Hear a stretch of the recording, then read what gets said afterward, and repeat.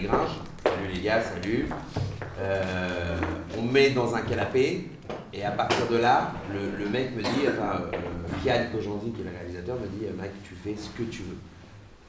Et donc, il a fait action, et là, c'est parti sur euh, 50 minutes d'impro, mais un flow, tu sais, de, de- trucs qui, qui te viennent comme ça, et ça ne s'arrête pas. Et, à partir de là, ils ont fait euh, quatre épisodes, et l'aventure, entre guillemets, Serge Le Mito a commencé. Et, on et, en fait, moi, ça m'a. J'ai toujours utilisé l'impro dans, plein de choses que, que- j'ai faites. Parce que parce que c'est un moteur, parce que tu as, l'impression d'être créateur du truc, tu vois, de ce qui se passe, de, de, de revisiter. En fait, quand tu fais de l'impro, tu es au plus proche de la situation. C'est-à-dire que tu penses plus au texte, à comment le dire, à, tiens, est-ce que ce mot, je lui donne cette intonation-là? Tu plus là-dedans, tu que dans la situation. Du coup, tu es libre, euh, de, t'es libre de vivre les choses. Et ça, c'est quand même le plus dur quand on joue. Euh, vous êtes tous acteurs et tout, c'est de vivre vraiment la situation, d'oublier le texte, d'oublier que tu dois prendre euh, la tasse à café, d'oublier que tout ça. Et donc ça, c'est vrai que c'est une sensation qui est assez folle en fait, quand tu, vis vraiment la situation et qui... et, du coup, donc Serge a commencé comme ça avec ce, ce, ce flow et je me suis dit, ok, c'est mon moteur. Voilà, clairement, c'est quelque chose où j'arrive à m'exprimer, le- où j'arrive à donner ce que j'ai en moi, c'est-à-dire le, voilà, la chose que j'ai à apporter, tu vois, j'arrive à la donner avec euh, ce, ce mode, euh, ce mode d'impro, ce mode de création comme ça qui vient et, et tu te laisses embarquer comme un, comme un saut en fait, euh, un- vraiment, c'est mec, c'est vraiment un saut, tu sautes quoi, et tu sais pas où t'atterris, et fois tu vraiment tu te ramasses, mais, mais tu as une sensation un peu de mini volée quand même, tu vois. C'est c'est ça, qui est- c'est ça qui est kiffant dans l'impro. Et c'est vrai que, je sais pas quand vous utilisez, vous faites un peu d'impro dans les cours ou pas, ou jamais? Ouais, ils vous font faire de l'impro et tout? Bon, c'est cool, tu vois. C'est bien, d'accord, bah, c'est super, parce que moi, à mon époque, euh, au Ponce, on faisait pas du tout d'impro. C'était plus, effectivement, étude de texte tout de suite, on prenait les textes, et il y avait tout de suite un point de vue sur les choses. Après, l'impro ne marche pas, euh, enfin, cette écriture-là, enfin, il y en a pour qui ça, ne convient pas, il faut respecter ça, en fait. C'est Ce qui est cool, c'est de trouver son moteur de, de création, et puis après, aller à fond là-dedans, en fait. Avec Victor, j'ai tourné dans son film, il y a plein de moments où je faisais de l'impro, et parfois l'impro ne marchait pas. On a un moment. C'est vrai. Ah, c'est vrai. Mais en Il y a du déchet, il y a du déchet. bah, Il y, a- grave du déchet, mais on s'en fout en fait du déchet. Ce qui compte, c'est de, de proposer, d'essayer des trucs. Tu vois, tu te souviens de la scène où on avait fait avec les Bill, où, où j'essayais de réinventer le texte à chaque fois, parce que je supporte pas entendre le texte, moi, en tant que spectateur, ça me rend dingue. J'aime bien oublier quand je vois un film que c'est. euh, Il y a un gars qui a une plume, tu vois. J'aime bien oublier ça et vivre le film euh, à 100% et tout. Tu cherches le réalisme. Ouais, et puis même la créativité, en fait, le, le fait de, de, de péter les cadres, en fait, moi j'ai un truc avec ça, en fait, j'ai besoin de beaucoup de liberté et en même temps d'être cadré, tu vois, de sentir qu'en fait je, je peux faire ça, je peux faire ça, je peux dire ce que je veux, je peux balancer la chaîne. C'est, moi je trouve ça génial quand on est sur une scène de se dire que tout est possible à tout moment et qu'en fait c'est ça qu'on vient chercher en fait. Enfin moi c'est ça que je viens chercher quand je vais au, au, au cinéma ou au théâtre, c'est de voir des gens qui sont, qui sont véritablement dans le moment, créatifs, tu vois, où tu sens qu'il y a, y a une, un petit degré de, de on ne sait pas. Donc voilà, c'est vrai que. Mais ça peut pas marcher euh, tout le temps, ça dépend du ton du film, ça dépend des gens avec qui tu bosses aussi. De des gens, en des acteurs en face qui, qui tu leur fais de l'impro, ils font excuse-moi, mais alors là, euh, euh, la virgule, là, c'est important pour moi. Euh, Et, et, et tu, et tu dois t'adapter, et, et parfois ça marche, parfois ça marche pas, mais c'est un process qui, euh, que je trouve moi hyper important. Vous, en- vous, mais vous en pensez quoi, vous, par exemple Je sais pas? Il y en a qui, qui sont réfractaires à l'impro, il y en a qui. euh, Ouais. Mais c'est non mais c'est effrayant parce que tu, tu, tu parce que tu y a rien pour te raccrocher en fait. À part à part la situation, à part la situation. C'est-à-dire que c'est vrai que je sais pas moi la, situation pour moi c'est- c'est tout en fait. Si par exemple tu dois jouer deux frères, c'est hyper intéressant et c'est au, au cinéma en plus voilà je- pour ceux qui tournent et tout. euh, vous savez qu'au cinéma, c'est on est, c'est vraiment pas le- l'endroit où ça bosse le plus. Hein. Que, c'est- non, mais c'est assez immédiat, quoi. Les actions, les moteurs, et tu fais une lecture, tout le monde est rassuré parce que tout le monde a bien lu son truc. Tu vois, non, c'est vrai. T'as beaucoup ça. Il y en a très peu qui font des répètes, très peu qui, euh, dans le lot hein, de ce que vous allez tourner ou de si vous avez déjà tourné. il y a, c'est pas comme au théâtre clairement tu passes un mois et demi à essayer de comprendre, à essayer de, de c'est beaucoup plus humble le théâtre dans son approche du travail que le cinéma. Tu, tu, tu veux dire des trucs toi? Bah, moi je suis assez d'accord avec toi. C'est vrai. Comment t'as écrit ton film moi, par exemple, non, mais c'est vrai que, en-. Sur l'autonomie de l'acteur au cinéma, euh, c'est vrai qu'il y a une prise en charge euh, qui est individuelle, c'est-à-dire que le réalisateur n'a pas forcément le temps, parce qu'il y a plein de choses à gérer euh, techniquement. Et euh, après, moi j'ai essayé quand même, on a fait des rendez-vous, mais euh, pas fait des- beaucoup. Non, on a fait deux lectures. On a fait deux lectures avec William, Ouais. parce que t'avais- il a quasiment que des scènes avec William et avec Bill. Et, euh, et pour le, et, mais, mais par contre, les deux acteurs principaux qui sont William et Margot Ouais. euh, j'ai fait un week-end, je suis parti en week-end avec eux pour créer une publicité. Donc moi j'ai, moi j'ai fait ça après. euh, Il y a des réalisateurs qui veulent pas du tout faire ça, qui, veulent, Non, qui ont besoin de spontanéité, qui veulent pas travailler le texte, le texte est très rigide. Je sais que Margot elle a tourné avec Anne-Leni, Anne-Leni il faut respecter la virgule ou point virgule. Enfin, alors que moi je suis plutôt en demande euh, de création. de création. C'est-à-dire que euh, soit en prépa dans les lectures qu'on faisait, William et, et, euh, et Jonathan nous proposaient des choses en fait. C'est-à-dire que on partait d'une lecture assez, voilà, assez sobre, Ouais. on disait juste le texte, et puis après ça. On se chauffait un peu et Ouais, ça et partait un peu pareil. Puis moi je notais des trucs qui me plaisaient, c'est-à-dire des, petites, euh, des petits dialogues, des petites choses, je me disais ah oui, puis Jonathan il apporte vraiment beaucoup, il propose beaucoup de choses sur le personnage, il le voit comme ça, on, en discute beaucoup. euh, c'est intéressant d'avoir des, visions qui se.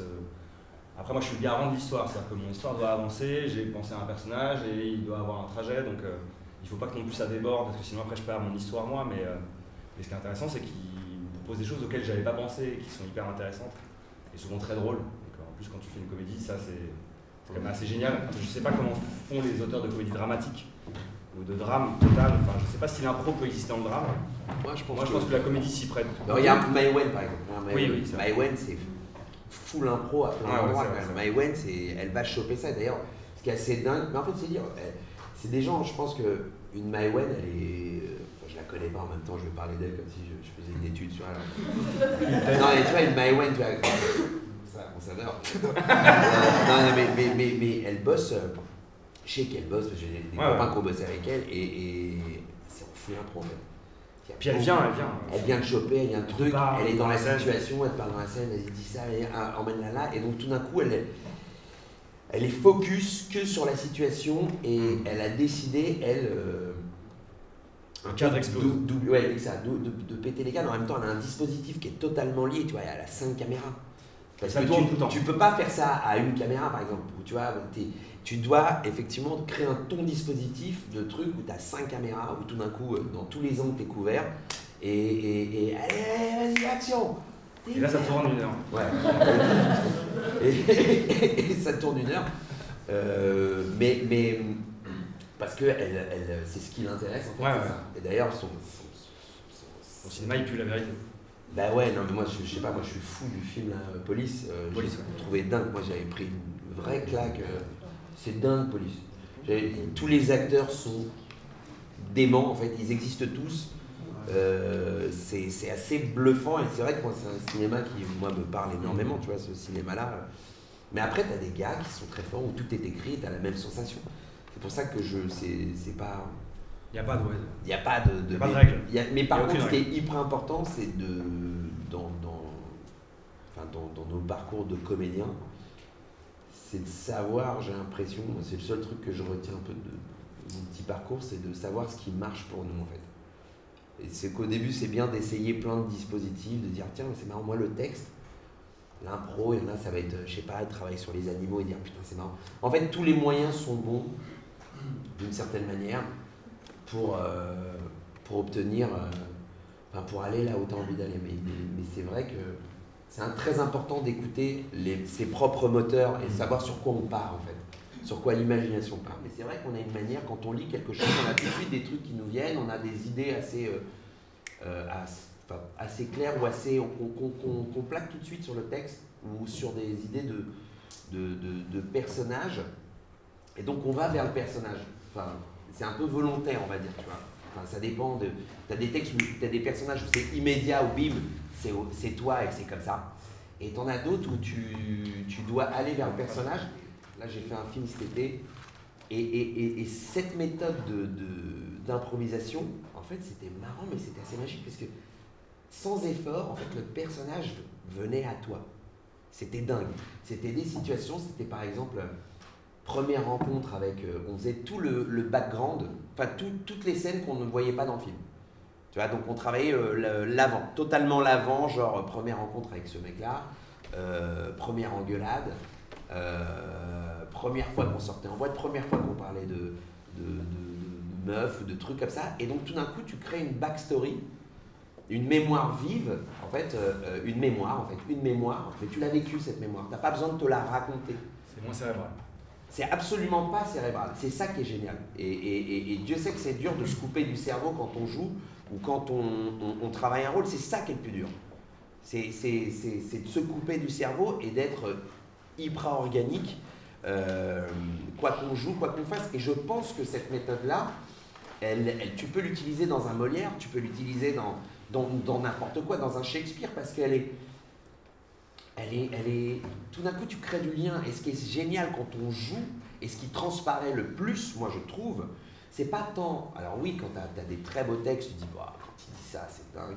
Mais ce qui est fou, ce que tu captes, c'est bon, évidemment les émotions, euh, mais aussi les, liens entre les personnages, ce, qui, passe entre les personnages, de, de voir qu'entre ces deux acteurs, il y a, y a un truc en plus qui passe. Et ça, mine de rien, soit tu as la chance, on la joue en mode casino et bim, c'est une loterie et ça se passe super bien, soit tu vas euh, choper euh, de la connexion euh, entre, entre les, acteurs par l'impro et, et, de la mémoire commune, tu vois, un truc qu'on a vécu ensemble. Et ça change tout, on le sait que ça change tout. Quand, quand on joue, quand il y a une connexion en plus, quand on a vécu un truc ensemble et qu'après on aborde la scène, bah, la scène c'est plus la même, elle sonne plus pareil parce qu'on a ce lien en plus qui vient se rajouter. Et ça, l'impro, elle permet ça. Moi, je me souviens quand j'étais avec euh, Beauf et tout, donc c'était euh, euh, c'était une grosse distribution. Euh. Moi, j'étais un, un, bambino vraiment dedans. plus je jouais vraiment 5 minutes dans la pièce. Et j'avais mon texte, j'étais à fond. Et tu sais, tu as envie de donner tout, tout ce que tu as. Tu as envie d'être dans la tête, en fait, du, du metteur en scène euh, et, de coller exactement à, ce qu'il pense, tu vois, parce que tu es là, euh, tu as peur, euh, enfin, tu, veux lui plaire, quoi. Vraiment dans le. Ce qui est vraiment le lot de beaucoup d'acteurs, surtout quand on débute, on veut plaire, on veut être aimé, et c'est compréhensible. Comme c'est un grand monsieur, et, en plus, c'est un gars qui parle pas bien français. C'est-à-dire qu'il ne parle qu'à l'infinitif. C'est-à-dire qu'il n'y a pas un, truc qui est conjugué, c'est que des verbes. Voir, voir, devoir, pouvoir, vraiment. Donc, euh, il m'a fallu un mois pour décoder le truc. Et, vraiment, genre, il m'a dit, euh, fais toi arrive, cuisine, et toi, je... Voilà. et, et, donc, et moi, je faisais comme si je comprenais. Je fais, ah ouais, ouais, euh, cuisine, je captais pas un beignet. Et il y avait, une actrice qui jouait avec lui, Emmanuel Lyon. J'arrivais pas de me tromper, tout ça. Et euh, il fait non, j'ai dit rêve, cuisine. Euh, et, je fais oui, oui, bah cuisine. Et la, et la meuf me dit non, il veut dire cousine. Euh, cousine. Donc tu arrives, tu viens me voir, en fait, tu viens me voir moi, c'est moi la cousine. Bref, c'est absolument pas ça l'histoire. non, la, vraie histoire, c'est qu'il me voyait me essayer de dépêtrer, d'essayer de coller à quelque chose. Et un jour, il me raconte cette histoire qui est folle. Il me dit moi, un jour, assistant, grand metteur en scène. Grand metteur en scène, il a pris grand acteur, grand, grand acteur. Et un jour, grand acteur arrive comme ça, de la scène, et il arrive, il fait le texte comme ça, et le metteur en scène, il fait Mais qu'est-ce que tu fais? Et l'autre, lui dit Mais j'ai, j'ai fait exactement ce que tu m'as demandé.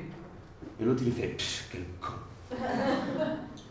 et ça, quand j'ai percuté à cette phrase-là, ça a changé, mais tu sais, toute une manière d'aborder le taf en fait. Je me suis dit, en fait, d'accord, euh, on a une vision. On a une vision, nous, acteurs, quand on lit un texte, on a euh, des, sentiments sur les choses qu'on lit, de, dire, tiens, c'est marrant, ça me rappelle ça. En fait, on a une vision. Cette vision-là, c'est tout ce qui fait l'intérêt de vous choisir ou pas, tu vois, euh, pour un metteur en scène. C'est con, mais, mais c'est la seule chose qu'on a à donner nous, au-delà de nos émotions, c'est notre vision. Et, et, et, et, concrètement, ce qui est intéressant quand, on travaille avec un metteur en scène, un metteur en scène, il se rend pas compte parfois, mais euh, il pense qu'une scène est comme ça, et puis en fait il y a un acteur qui va arriver et il va lui amener une autre manière de voir la scène, mais et c'est cette confrontation qui est intéressante.